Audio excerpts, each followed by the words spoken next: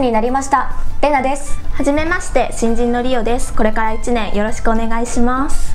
今回は同時配信している長門橋のクリップにちなんで阿武隈川上流山口県山口市阿東と萩市川上に位置するこの峡谷のトリビアをお送りいたします。私たちが年末に出演した中原中也の生涯っていうお芝居で中也さんがよく訪れた場所で出てきたところね。中也さんは冬の長門橋っていう詩も書いている長門橋に水は流れてありにけり寒い寒い日なりきっていう詩ね。我は料亭にありぬ酒組みてありぬ。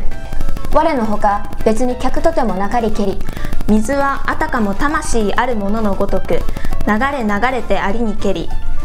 やがてみかんのごとき夕日欄干にこぼれたり。ああそのような時もありき寒い寒い日なりき。山口市側の入り口は JR 山口線長門橋駅の前にある道の駅長門橋で入ってすぐのところにこの詩を刻んだ詩碑が立っているのよね。渓谷の全長は12キロで大正9年1920年に南宋画家で地質学者だった高島北海さんが長門橋って名付けた。大正12年1923年には国の名勝に指定されてます道の駅から萩市側の入り口の竜宮淵までの5.1キロの区間には遊歩道が作られてて綺麗な渓谷をゆっくり散策できます。秋の紅葉は有名で11月上旬から中旬にかけて色鮮やかなもみじが水面を真っ赤に染め渓谷が1年で最も美しい季節に変化します。11月上旬には長門峡紅葉祭りも行われていますこのシーズンには道の駅から竜宮淵までシャトルバスが出てるのよね。1日3往復してますがお天気が悪いと走らないので注意してくださいね。春は桜富士拳の花が咲き乱れて小鳥たちのさえずりが聞こえてきます。新緑の頃になると朝霧が谷を包んで幽怨な趣が漂うそうね。夏になると清々しい空気が満ちて清流には鮎鯉隼が泳ぎキャンプを楽しむ若者たちや釣り人でにぎわいます。中也さんが寒い寒いって言ってた冬は落葉した木々の間から現れる断崖絶壁や雄大な雪景色が水墨画を思わせる美しさを醸し出します。冬には野生の猿が顔を出すこともあるみたいよね。入り口にある道の駅長門橋にはここでしか買えない貴重なお肉があります。阿東和牛ねそうです。山口市阿東町の豊かな自然の中でのびのびと育てられた和牛です。生産中止になってたこともあるのよね。そうなんだけど平成23年から阿東和牛振興センターで生産されてます。どんな風に育てられてるの？およそ200頭の阿東和牛が子牛の時期からおよそ20ヶ月。毎日しっかりと健康状態をチェック。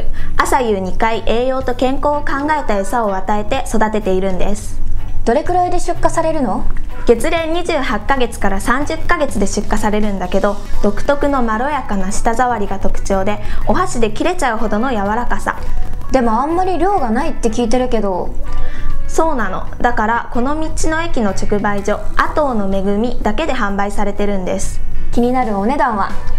部位によっても違うんだけどだいたい 100g1200 円から1550円くらいそれなりの値段だけど人気があるのよね。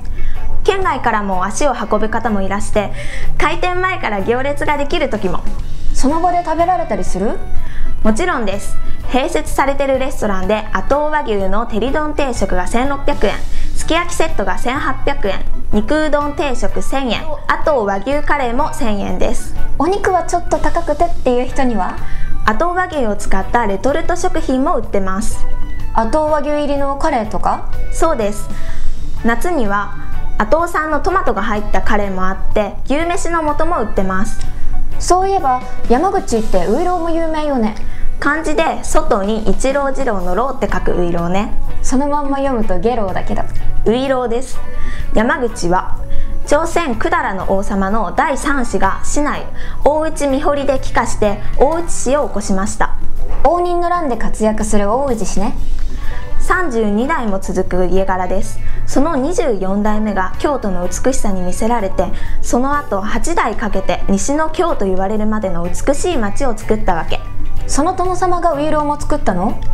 殿様が直接作ったわけじゃないけど大内美堀にあった福田屋で作られたのが山口ウイロわらびの粉でできているのよね。わらび粉に小豆あん小麦粉砂糖を練り合わせてから蒸して作ります。その辺が米粉から作る名古屋のとは違うわけね。山口ではお客様がいらした時のおもてなしや挨拶の時に出すお使い物として重宝されています。大分でも買えるのかな？通販もあるのでどうぞ。ということで今回はここまで。それでは皆さんごきげんよう